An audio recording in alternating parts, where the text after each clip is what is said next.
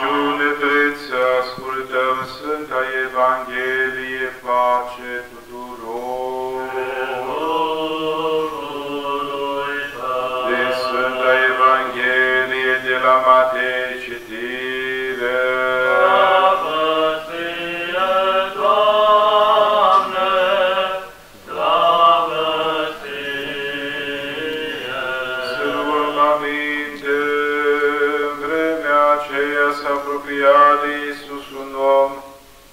Îngenunchind înaintea Lui și zicându-i,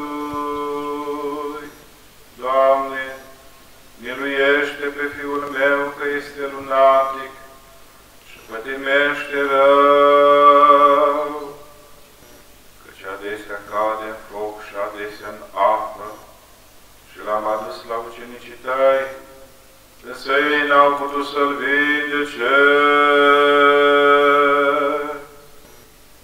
Iar Iisus răspunzând a zis, O neam necredincios și îndărătnic, până când voi fi cu voi, până când vă voi răbda pe voi, aduceți-l aici la mine.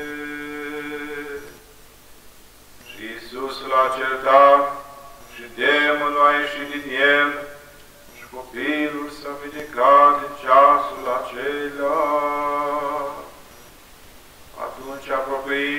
ucenicii de Iisus, i-au zis de o parte, de ce noi n-am putut să scoatem? Dar Iisus le-a răspuns, pentru puțina voastră credință, căci adevărat crezi vouă dacă veți avea credință cât un grăunte de muștar, veți zice muntelui acestuia, mută-te de aici, dincolo și te va muta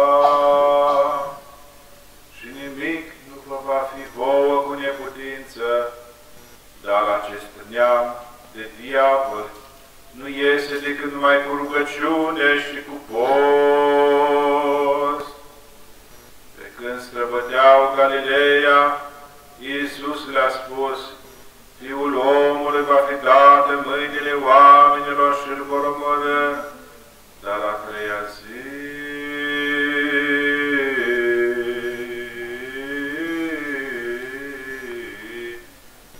Sambhya